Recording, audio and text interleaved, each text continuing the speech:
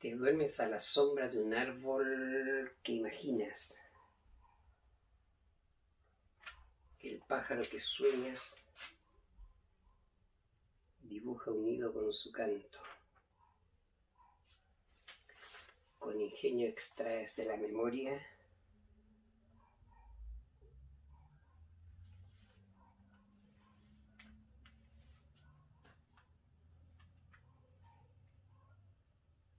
Si canta, pintará un pájaro. Si vuela, anidará en el árbol.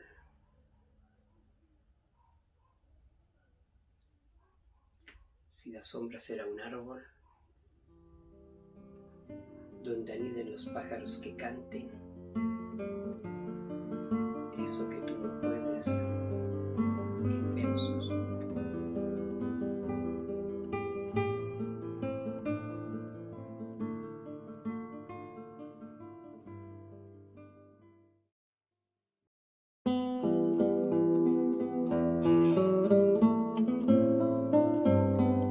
Sentado sobre la gran raíz de un viejo árbol caído, escuchas la ruta del viento entre las hojas del bosque,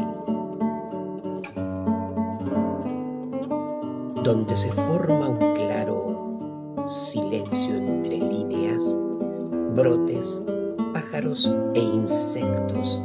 Escriben con sus patas sobre la tierra la historia sin palabras de lo elemental salvaje y lo salvajemente apacible.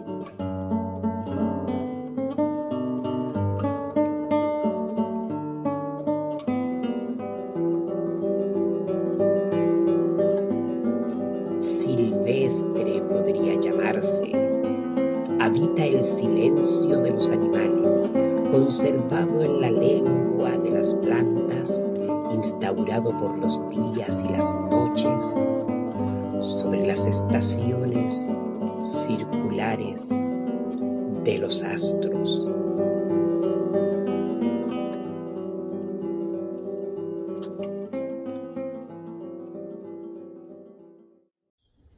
Ya Virgilio hizo madurar la ciruela entre las frutas del poema. De allí más acompañó el desayuno de irreverentes poetas enamorados. O bien, su cuesco garantizó la primavera de nuevos brotes.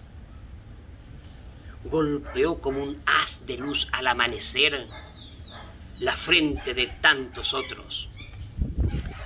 A mí, honestamente, me gusta más la palabra que la fruta.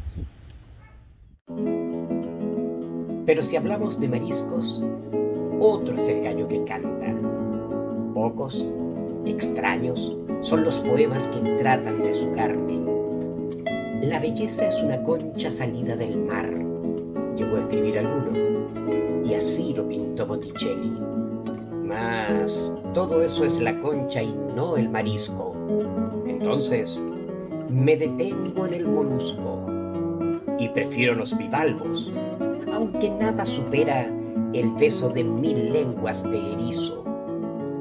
Por ello, quizás me quedo en la carne finita, como toda carne, carne de todas las carnes, resguardada bajo la forma de todas las formas.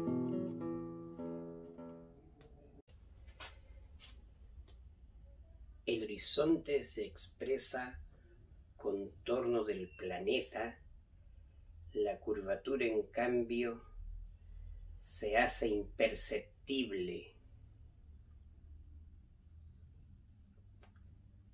El horizonte se expresa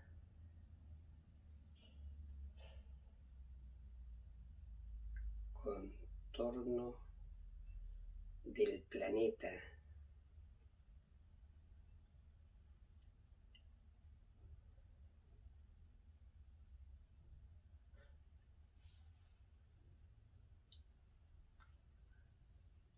El horizonte se expresa contorno del planeta.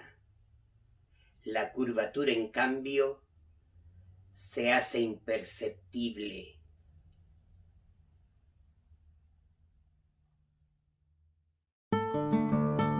Del otro lado la orilla describe los bordes del mar. La transparencia, en cambio, se vuelve impenetrable. De pie sobre la tierra, entre el horizonte y la orilla, la fuerza incontenible de un milagro emerge viviente, salvaje, cola y aleta azotando los mares. Sumerge la bestia su cuerpo, ignora la sangre que agita en nuestros pechos, la sal que delinea nuestros ojos. Esto es apenas un cristal de iceberg, mientras el animal se pierde en la curvatura imprecisa de nuestras miradas y la ingobernable transparencia del milagro salvaje.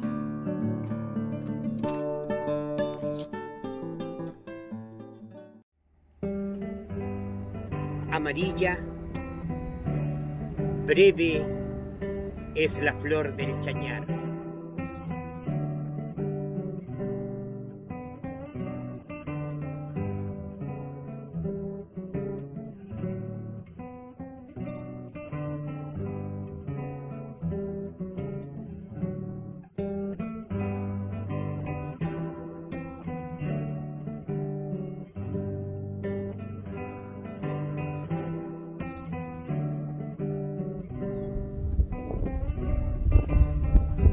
Amarilla.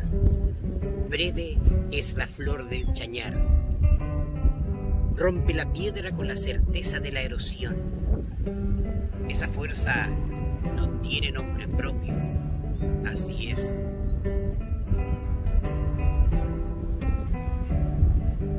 Eternidades comenzaré a llamarlas.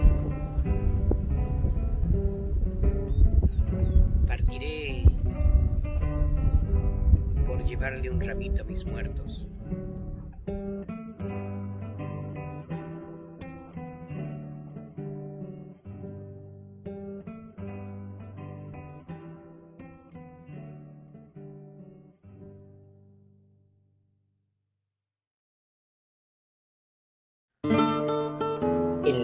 De infancia, donde aprendí junto a mis padres a nadar y conocí la raíz pura del erizo negro, me detengo y sigo con las pupilas el desplazamiento de los peces pequeños que se crían entre algas y anémonas. Presiento en sus ojos saltones la ansiosa vibración de las aletas agitadas de supervivencia. La escena con sal en los labios derriba de un tumbo la mirada vidriosa en el reflejo del océano que se quiebra en las pozas de infancia.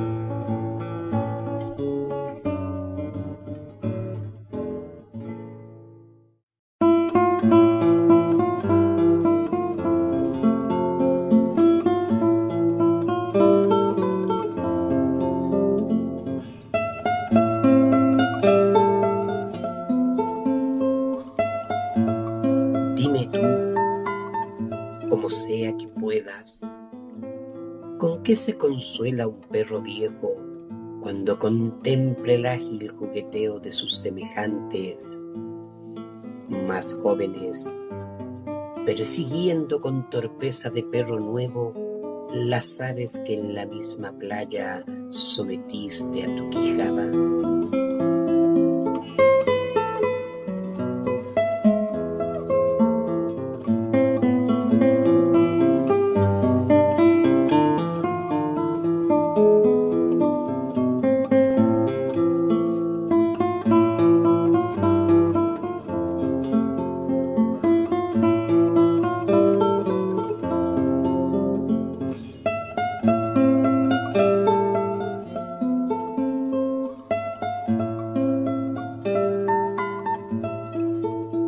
Dime tú, Canelo, con ese ladrido de sabiduría que invocas a la luna, y de cachorro te hizo supremo elegante hasta en tus más fieros combates, ¿cómo se conforma un perro viejo mientras contempla el revoloteo de los pájaros que se refugian entre las rocas?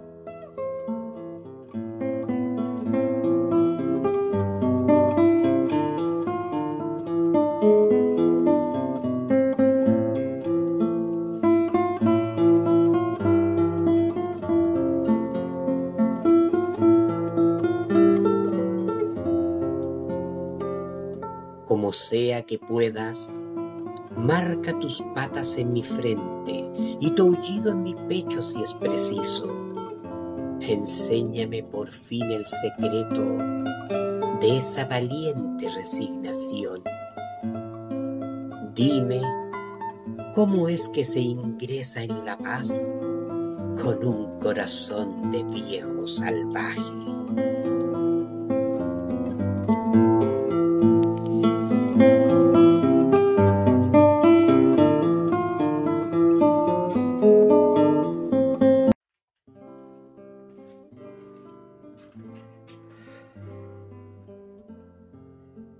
A la sombra de un árbol que imaginas. El pájaro que sueñas dibuja un nido con su canto. Con ingenio extraes de los recuerdos el tejido de fibras vegetales hecho nido. Lo dejas en el centro de una hoja en blanco. De allí, la hebra suelta, desvío quizás, hará nacer un poema si canta, pintará un pájaro. Si vuela, anidará en el árbol. Y con ingenio extraerá de tus sueños una semilla que dejará germinar en tu lengua. Si da sombra, será un árbol, donde aniden los pájaros que canten. Eso que tú no puedes en versos.